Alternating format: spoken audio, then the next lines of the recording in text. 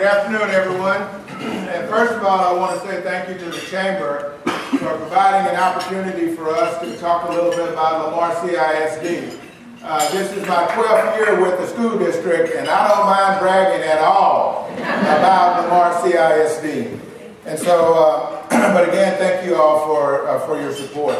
Um, Lamar Consolidated ISD, we cover 385 square miles. Uh, uh, land-wise, we are a large school district. Oftentimes I have to remind folks that we actually are a mile and a half from I-10 to the north, and we touch Angleton School District down to the south. So uh, we are a large district. We make up 43% of Fort Bend County. And so uh, the, that is something that oftentimes uh, uh, we don't even think about, about how large a county we are, but how large Lamar CISD is within that county. Currently, we have over 26,000 students in our district, uh, and our projections for 2014-2015 is to have over 27,000 students. We're considered a fast-growth school district with 36 campuses. Uh, we've added 4,100 students in the past five years. And when you look at the greater Houston area, we're number six in growth percentage-wise. And that is something that uh, uh, we know that uh, we're going to stay in that top 10% of, uh, uh, or top 10 of school districts around that are actually growing, and because we're one of those fast growth. We, uh, Lamar CISD last year added 857 students, and only six Houston Area District added more students than Lamar CISD. Lamar has grown 19.1% over the past five years. And I know some of you have been in, in, the county as well as in our school district area uh, when we just had one high school, and you know how much we've grown. Uh, in fact, uh, we had someone that came back to our community. They had been gone for about 15 uh, years or so and could not believe the growth that has occurred in our area. We've actually, when you look at percentage, we actually outgrew uh, Fort Bend and Katy this past year. If you look at our projections, and um, if you look at here we are at 2012-13 uh, at 26,000 students. We're projected to have over 38,000 uh, students when we're out to 2021. And if you don't think that's going to happen, uh, PASA is our demographer that helps us to identify how many kids we're going to be growing. You can go out to our website, you can pull down their report, and you can look through that report. There was one year that they were 31 students off. So I can tell you that when someone says, all oh, you don't have to worry about those numbers, then I uh, just send them to my office, we'll sit them down and let them go back and track through it. In the 10-year projection, we're projected to need eight elementary schools, two middle schools, uh, uh, a junior high school, and a high school. So 12 schools in the next 10 years. Our demographer also tells us approximately where those schools need to be. And if you look, uh, this is 1093. This is the Fulshear area. And of course, we are talking a minute about high school and junior high school up there, but we need an elementary school there, an elementary school over in the Westheimer Lakes uh, uh, area. And as you can see, oh, okay. And as you can, uh, as you can see down here, south of 59, all the areas where they've indicated that we need to have uh, schools coming up. We just finished a rezoning uh, uh committee where we're rezoning for one of our new schools. we have $9 billion in taxable values in Lamar CISD, a budget of 183 million. We have 4,300 employees. Every day, 11,900 students ride a bus. We traveled over 2.4 million miles last year. And when you look at the number of meals served, we serve 4.8 million meals. Hey, we're competing with McDonald's. I don't care what you say. uh, we have, it, it is a big operation uh, uh, in our food service department. Our ERG, a group that has gone in and using several different variables and have ranked school districts across the state of Texas, We're 23 out of the top 200 school districts that they rank on, on districts that uh, uh, are achieving academically, but also are being fiscally responsible in that process. So we're real proud of that, uh, that ranking. If you look at the tax rate, that tax rate of $1.39, as you can see, has been pretty consistent over the few, uh, past few years. We work real hard to be good stewards of taxpayer dollars. And if you want to check us out on the tax rate, go back and pull your tax uh, uh, uh bill for the last 10 years and look at it yourself to see that our rate has not grown. We've done a lot of things to try to make sure that that rate stayed as close as we could to uh, uh, what we've been over the last few years. Uh, funding uh, reduction, um, uh, I'll be glad when the legislature is out of Austin because they always hit us for, on something. We don't know what it's going to be. But if you remember, they cut our district by $28 million, and we were able to uh, reduce our budget by the amount that they wanted us to, to reduce it, and we didn't lay off any employees in the process. Our school first rating, uh, we have uh, for 11 straight years, uh, we've received a uh, top rating with uh, school first. In our district, we had in 2003 a $142 million bond issue, 2006 $281 million bond issue, and in 2011 $249 million bond issue. So in those three bond issues, we have uh, over $672 million in bonds that uh, this community has supported the school district on.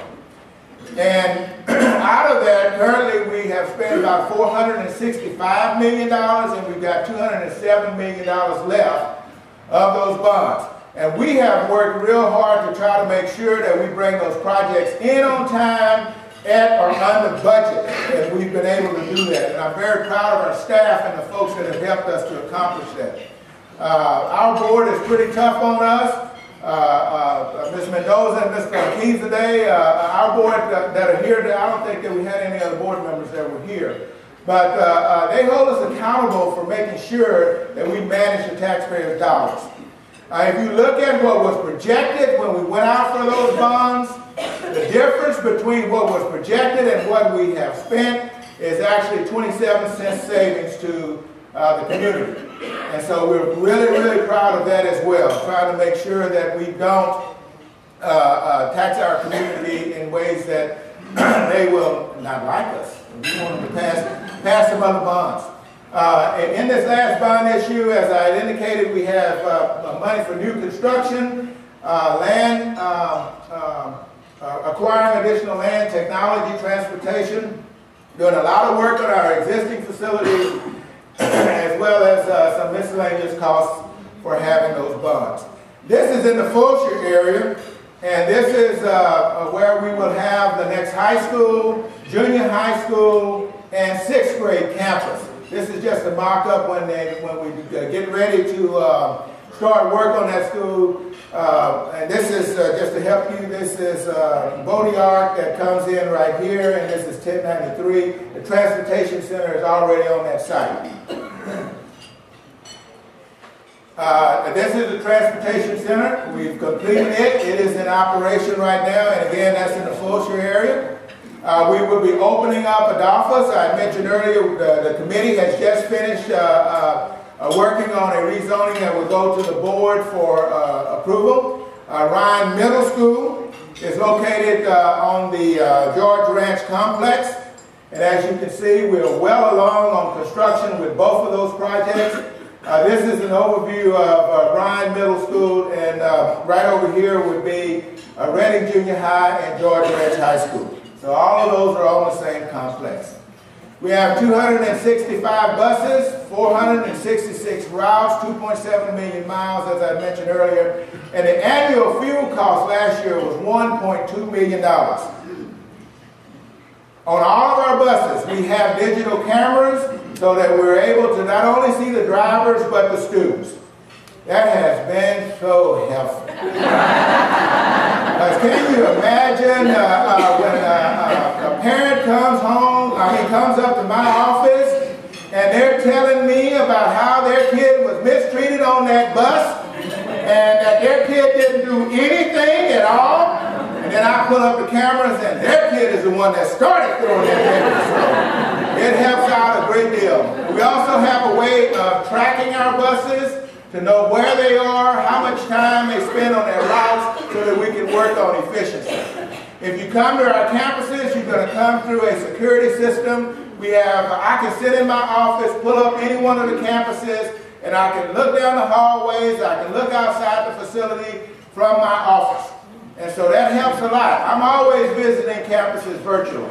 You don't know it, uh, but I'm there. But anyway, when you walk, when you walk into the uh, schools, all of our schools, you got to check in. We're gonna, you're gonna have to swipe your badges. And while I'm saying that, I invite any of you that want to come by and visit our schools, please do so. Uh, uh, you got to go through security. We got to check you out, and we're not going to let you disrupt the educational process. But I always offer that up because you'd be surprised at how many people can talk about our schools and they've never been in one. So when they do that, you ask them, have you ever visited the school? And put them in check for me. I appreciate it. We are an HEB Excellence Award winner and a Texas Recognized School District. Only 28% of Texas school districts met AYP. Last year, Lamar CISD was one of those. When you look at that, the number of schools that met it and the number of schools that did not meet AYP, I'm very proud of our teachers and our students. 75% of our schools are recognized or exemplary. when we're in the STAAR testing now, this is a new test that we are working on. Uh, third grade, this is an example. Blue is Lamar, red is the state. We outperformed the state in every category that was tested. We're very proud of that because our teachers are working extremely hard. This is eighth grade.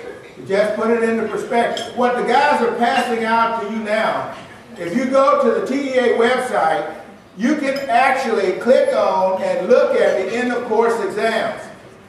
This is the end of, sample questions of the end of course algebra exam. I want you to look at that before you leave today and take the test in your mind. Don't go to the answers. And then you tell me that our kids aren't learning something. If they have to pass that to get out of school.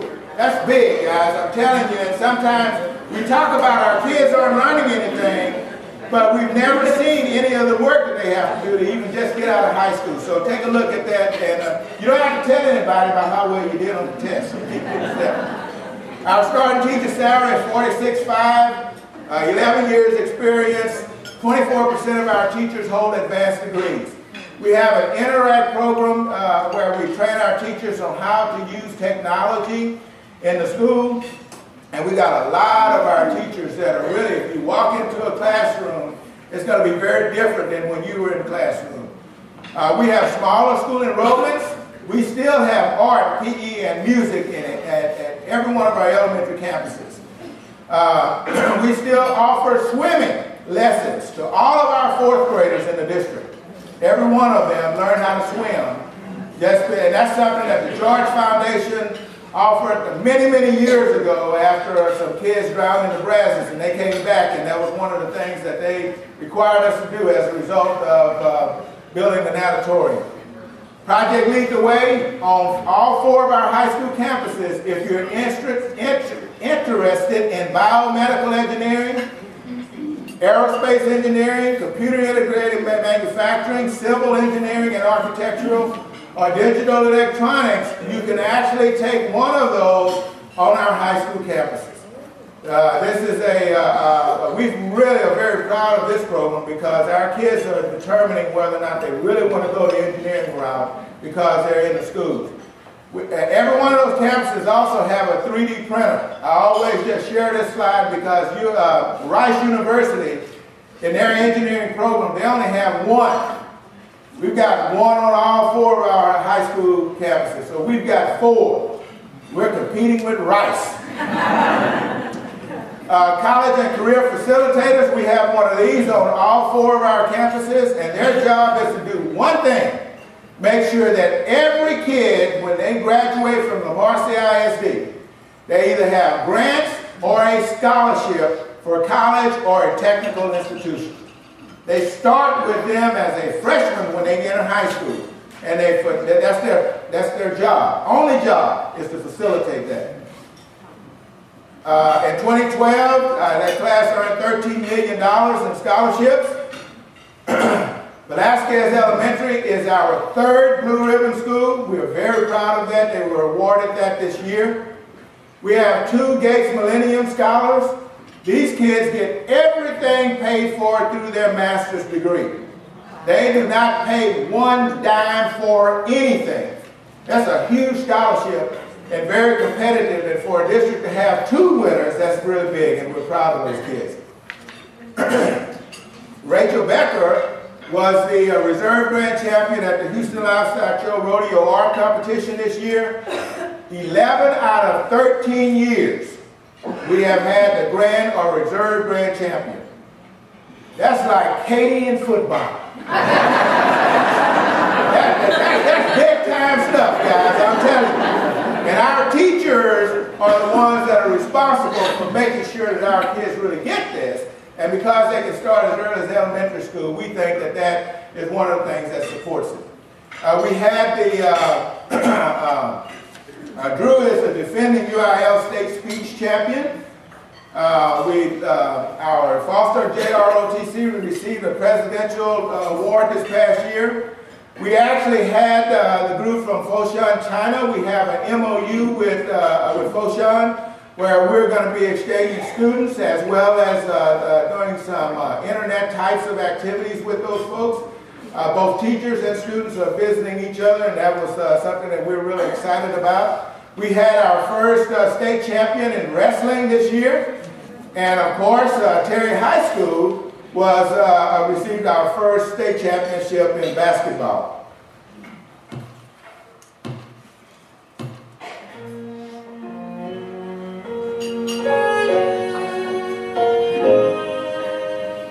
Started this journey, there wasn't a whole lot of people on our bandwagon except for us, right?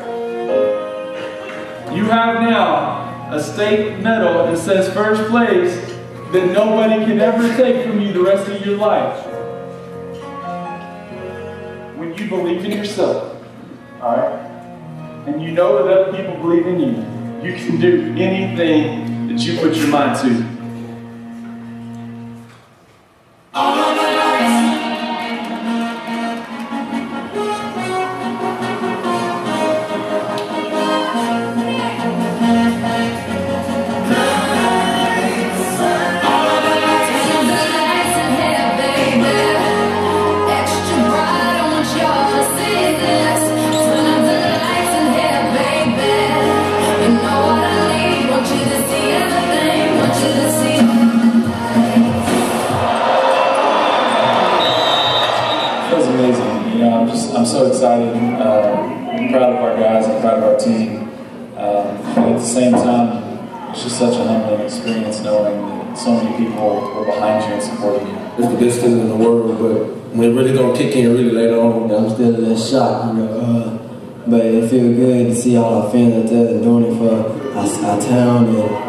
just seeing everybody happy. When I seen that we was down to just, you know, two times the state their champion, I was thinking like, man, we gotta just pick it up. They bought into our motto, uh, believe, and I never once sensed that the game was getting away from them. I knew we had to play better, we had to take care of our, our individual responsibilities. And once we picked up momentum change, you know, games going our way. I knew that they still believed. They believe, believe the believe uh, Uh, other Billy White gonna shoot three, believe he gonna go to the goal, do we have to do. Fighting so hard and, and coming out on top and winning the fight, it felt really good, man. It was like a weight lifted off his shoulders when the, when the clock showed zero. And we was winning. I don't care where we are in our life, in our journey, I got you back. All right? I believe in you and everything you want to do. And between those two things, you can do anything you put your mind to. Don't let anybody try to rob your dreams. Don't let anybody try to rob your hopes. All right, because this is proof that you can do anything. You got me? Let's come together. I love each and every one of you, man. That was our Final Four. And what he said there at the end is something that we really and truly believe in a lot.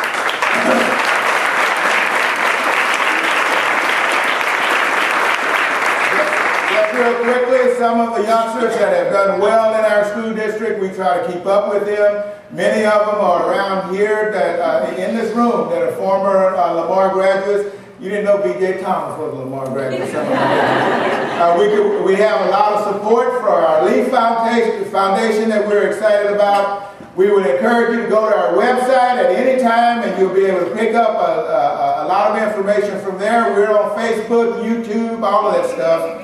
I'm not, they are, but, but bottom line, and we also do a random report that's done by video that we've had over 15,000 uh, individuals to go and view it. Uh, come and learn as much as you want about Lamar CISD. I'll talk your head off. Thank you.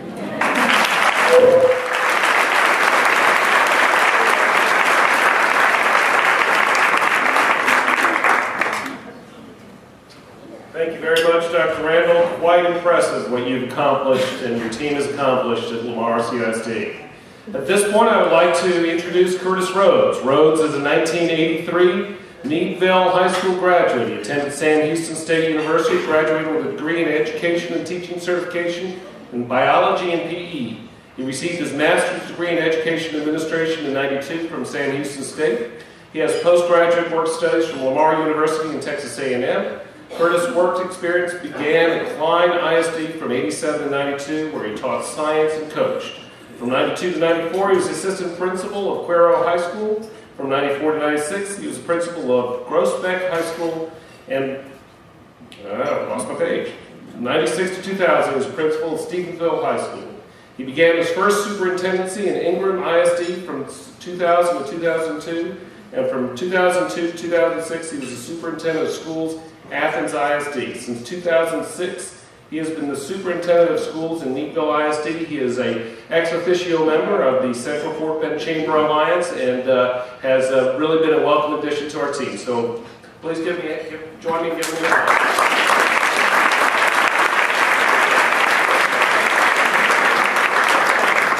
Thank you very much. Let's see if I can follow up what Dr. Randle started there. We're going to cross over a little bit, but we're a lot different in that respect. It's funny, I was telling him earlier, as we got started, I said a lot of times I can sit in Needville and look over, multiply what Needville does by 10, and that's uh, Lamar's size. You take the number of students, roughly 26, 27,000, drop it down to our 2,700. Take the number of buses, 280, I think we run 29 bus routes. Uh, it's amazing how some of that works. Maybe we'll get 10 state championships next year. Our basketball team's not quite there yet, though. We're coming. Uh, Needville ISD is doing great. I want to say thank you to the chamber. Thank you to the school board members that showed up. But first of all, before I want to start with my uh, Beth Briscoe, stand up, assistant superintendent.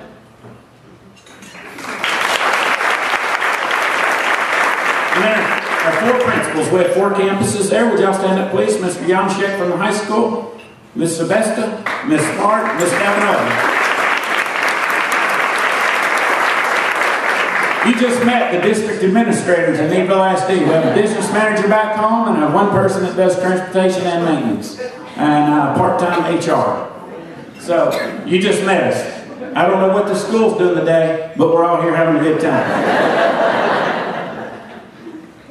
We have an outstanding community. How many of y'all graduated with a class of 200 students or less? All right, we got some small school people in here. I like that.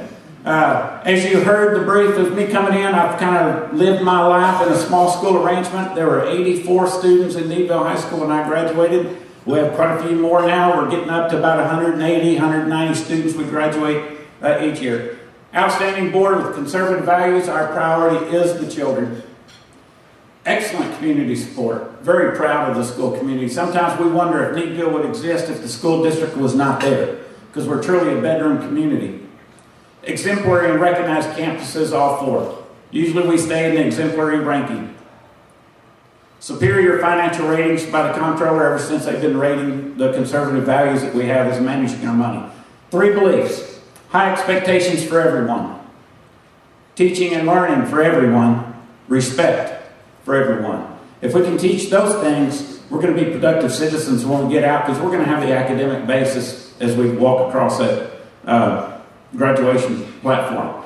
District profile, just in case you didn't know, Needville ISD was formed December 17, 1946. It was formed by three little communities. Big Creek, Marlowe, Guy, Brown, Forester, Needville, Silent, Medina, Williams School, and Concord. Back before 46, they all came to Lamar to go to school. Isn't that correct? When they passed the eighth grade or whatever, they came over here to high school. So they began, the, the district in 46 encompasses approximately 200 square miles. I've got a chart from the county that's going to show you in a minute just the size that Lamar makes up and Needville makes up. Today, we're still 96% residential or undeveloped. We don't have much commercial. Very small commercial base over there for us. Our challenge is to maintain the traditions as we grow. We are beginning to see that growth. We, we, we, have, we do not reflect what Lamar is growing. We've been slowly growing as we moved along, but it's taken off at a faster rate now. Here's the map. This came off the county website. You'll see Needville. We're 100% in Fort Bend County. Some may not know that. There's two districts that are 100% in Fort Bend County, and it's Lamar Consolidated and us. Kendleton no longer exists. They're part of Lamar CISD. So you can see we're approximately 200 square miles. There's Lamar. A little bit of Brazos comes over in Orchard. Katy has a little bit of us. Stafford, size of their district, they have about, I think, 21 homes, Dr. Hemp said, that move over into Harris. So they're almost 100%, and Fort Bend goes into Harris County, the other county. Kind of interesting when you look at it. Our campuses, four campuses. Our elementary school is pre-K 4. We're already up to 1,071 kids on that one campus. Our middle school is 5-6, 437, junior high is 7-8, 485 high school is 912. You take those two grades just as they roll up, we're gonna we're, we're continually moving forward. We're gonna get to that 4A level before long. We might be coming to join you guys. See if we can take that state championship away from you. We have about 2,785 kids. We've grown 5% since June of 2012. So was that eight, nine months? You can't sneak up on us in Needville. We don't have trees. We don't have mountains. We're not sure where they're coming from. We don't have apartment complexes. We don't have etc. But there's a lot of residences coming in, but they have small acreage plots. There's a few gated subdivisions, nothing massive. When is it coming? That's the trick. We have PASA also, our demographer. They're beginning work right now. They're going to do it through June, July, and get us a report and see where we're going to go, predicting that future. Our demographic data were 51.4% white, 42.7% Hispanic, 3.9 African American, 2% other, 37% low income. That has grown drastically in the last four or five years. Uh, when I came in here, so this is my seventh year as superintendent in, in Needville. When I came in here, we were roughly about 19, 20%, so it's grown rapidly through there. Economy could have something to do with it. Why is education important? You would hope. But everybody knows enough when they start strapping the street. This was not in Needville, by the way. It was in Damon. I actually lived in Damon when I moved here, so I can pick on Damonites. Now, why is education important? Because we are the public education system as a catalyst for a healthy community uh, city, state, etc. We make it work. Education is truly the key to me because you start. If you have an educated community, and this is a perfect example of Fort Bend County and all the communities within it, uh, you're going to have the educated workforce, a consumer base, a support. I mean, it's pure economics. It's a circle. It's a great circle that you just keep regenerating yourself, making yourself better as you go along. I'm a true believer that public education is the key at the center of that. Our expectations in Needville. You can go along and you can say, okay, we want to be 99% on the STAAR English test. We want to do this. We want to do that. We came back with a different look at it. We said, okay, this is what we really want a kid to be when he walks out the door, or she. Strong work ethic, positive attitude, communication skills, skills, time management. Be problem solvers. Have that ability. Be a team player. Have self-confidence. That is so important. Ability to accept and learn from criticism flexibility, adaptability, work well under pressure, and respect for oneself and respect for others. If you can wrap all those up and have those academically prepared kids, you're going to have great citizens as they leave.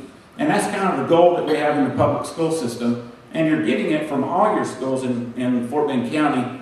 And I'm proud to say that we're doing, I think we're doing a great job at Needville ISD. The young lady that led the, the pledge earlier is, a, you'll see a picture of her later. She's a National Merit Scholarship finalist. Uh, it's probably going to be our valedictorian, right? Uh, almost a perfect score on the SAT. Just a fantastic kid and a role model for what we want to be. Interesting fact here. Go back. Some of you were here in the 50s, some in the 80s. Think about this. What influenced you or what influences kids? Home. This came out of a study out of Indiana. The home, the school, the church, peers, and TV. You know, they were coming in then. Go to the 80s, my era basically. Home, peers, TV, school. Watch where these are moving. Go to the 90s, your TV, peers, and look where home and school is going. All of a sudden, media comes into play. What influences kids? I know we put Barney on TV when my kids were little. You know, watch Barney. They won't be digging into stuff. But the amazing thing is, watch where home goes. It's here, it's here, it drops, it's off the chart. Where does school go? It goes off the chart. Look at peers and TV. And look at the 2000s. These things didn't exist. Where is it going to go? Where did the church, where did the home influences? I know I learned how to act by sitting by my mom in church, and when she would lean over and say, I'm going to you when we get home. And for the next 45 minutes, I had to worry about how many whippings I was probably going to get when she got home, and she never forgot. what does it mean? Students are influenced by the digital content rather than live human beings. We're getting worse at that. I text now instead of calling sometimes. It's not good or bad, simply different. Students have a shortened attention span, definitely. They're also used to receiving information faster than a human being or a teacher can deliver it. And as a result, we in an education system, we're going to have to change in time to keep up with this because it has to reflect the needs of the learners. Closer look at Needville. District value, 539 million. I don't know if that's times 10, Dr. Randle. Our value is a little bit less. Those farms just don't carry that that some of the businesses have. District budget run about $21 million, where 34% of that is, is a local, uh, local budget. State is 66. Chapter 41 schools, your rich schools are about 100%, about locally. We're definitely not one of those.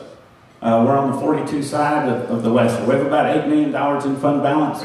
Very conservative, conservative life and uh, maintaining that money. Where's the dollar go to? Teacher instruction, supplies, 59 cents. Facilities, etc., about a dime. Campus administrative, six. District level staff, that'd secretaries, administrators, etc., four. You go through this, if you add all these pennies up, about 90 cents of it is targeting where the kids are. And that's where we want it to be. A little bit less, add around. How do you get it away? Facilities, we passed a bond in 2007 with about a 90% pass rate, and we built a new high school. Opened it in 2010-11. It's got a capacity for 1,200 kids. Right now we're in the low 800s. We have room to grow, but it's built with a core for 1,700. So if the growth does come, we're going to be prepared for it. We finished additions at the middle school to create in the elementary number two, so we can take our large elementary school, realign everything, and zone it out. We'll have some of the zone talks that Lamar gets to get into when Needville goes through the big change and that's having two elementary schools. Now you're going to have to figure out where you're going to live to where you're going to send them. I'm not looking forward to that one. Don't have much hair and it's gray, but it could be gone by then. And definitely looking to, we have a lot of technology throughout our schools and we're going to continue in that role. Academic achievements, not really there. But one thing to be proud of is we run about a 97% plus attendance rate. Very important. If they don't come to school, they can't learn. Also helps you in your funding and everything else you do. About a 96% graduation rate in four years or less. And I hate to say it like that, but that's how they grade. Four years or less when you get out. We're around about a 99.5% graduation rate. Ultimately, we have less than 1% dropout if you look at high schools who never do achieve it. So we have a great job of the staff and the community holding those expectations if you need something when you go out the doors. Uh, average SAT scores around about 1,029, states at 976. ACTs at 22, a lot of kids in the 34 32, 34 range actually as they come in. 36 is perfect on the ACT. Uh, 1600 is a high score on the SAT. Just a quick glimpse, I don't want to go through all the numbers. If you look at that, that was our most recent STAAR test we took. Uh, Needville's in the blue, states in the red, we're above in every area. This is a brand new test, really don't have the standard set because it's coming along. And that's uh, grades 3 through 5. If you look at grades 6 through 8, we're still the blue, they're the red. We're widening the gap, which is a good thing. We flipped colors on this one. My technology ability. So we're now in the red. It's not like we're the below the state, but this is our high school end of course test. We're real proud of these as they came through last year. Because we almost double everywhere what the state does as they get up to that level. So the kids are performing at the level they need to. Just curiosity. If you didn't know how many tests you take, and what's its political level on do we test too much, not test too much, here's a typical school, grade 3 through 8. They take reading math, reading math writing, reading math science, reading math. Every year you take it. A little bit much. You get to the end of course test. You got 15 end of courses. Six in English because you're doing reading and writing, algebra, algebra, all the way through. This is a true picture of a test that was taken by a student a week ago Tuesday up in the Garland area, Grand Prairie. That he is a junior. Junior doesn't take the STAAR test. Juniors are still into the TAKS world. But we, where students in the public schools are used to take field tests, and it doesn't count. They just have to take it because then they send it back to Pearson and they clean up their test items. So what he took, since it didn't count, he wrote, I have the TAKS test studied for, not this unneeded craziness. Wrote YOLO on his test with a smiley face. He's a great kid, they say. But I don't think he wanted to take the test. Then he took a picture of it with an, with an iPad and put it out in social media. Uh, ended up in trouble. Definitely. But it kind of goes to the point because, you know, even when we have to give all those tests and we give those field tests, we have to shut down school instruction for that day because it just stops the, mo- the motion of the movement. Unintended consequence, just like this church. They probably didn't mean to say, don't let worries kill you, let the church help. but another unintended consequence, not good or bad, I was Methodist, so it's okay. I can pick on myself. Howard we College ready in Needville. We have about 18 AP pre-AP courses offered. We have nine dual credit courses on campus. Taught on campus, that means our kids are to graduate and have roughly their freshman year completed. Uh, my daughter graduated a couple of years ago and she walked out with 27 hours. She was going to go ahead and get her 30 hours, but she was afraid she might not qualify for, for some things. She'd already be a sophomore. So we have probably, what, Mr. Janishek, 40% of our kids are in dual credits that go through. So if you can walk out of school, there's almost basically your freshman year is complete. I know at Texas A&M, that's about $20,000 a year savings that you saw. Uh, also, we have certificate courses. Uh, 80% of our students go off to college in some form or another. We have about 50% go to two-year institutions, 30% go to four-year institutions. Thank you. I know Betty McCrohan from WCJC's here. Uh, great relationship with Wharton. Helps our kids out as they move forward. A few recent achievements for our staff and students. There's our young lady that did the, the pledges national merit finalist. Our uh, FFA won the ju- judging competition in Houston Livestock Show at about 1,400. Entered there. Um, Jacqueline Reha performed at, at Carnegie Halls in the All-State Choir.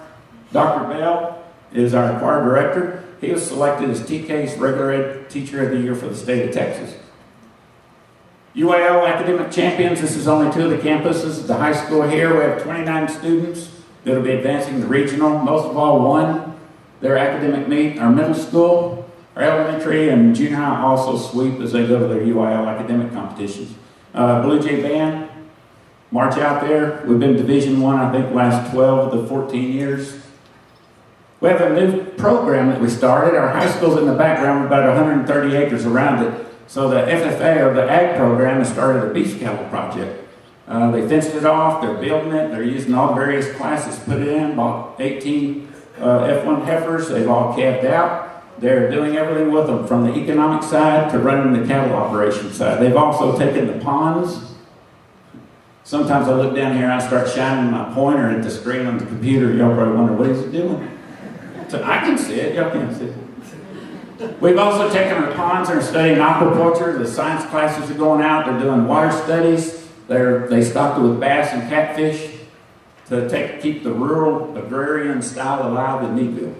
We have our own restaurant. It's open every Wednesday and Friday in the high school from our culinary program uh, called the House of Blue. Up culinary students run it. The teacher's in charge, certified, open to the community. People come in and eat and uh, see our high school. Blue Jay Pride, one thing we try to practice as we go through is we send our, our high school teams uh, volleyball, football, cheerleaders, etc., down every Friday, and they walk through the halls of the elementary schools, getting them fired up is an exciting time to create the spirit and keep it going. In summary, what makes a local public school district successful? The school community, and we definitely thank you. What does it take? It takes trust, understanding, community, and support. One thing we know is we can't do it alone. It takes everybody together to pull off what's expected. I'll answer any questions you have, and I'll Dr. Randallville. I want to say thank you again to the chamber for allowing us to come, brag on Needville, and I want to wish everyone a safe day, and God bless you.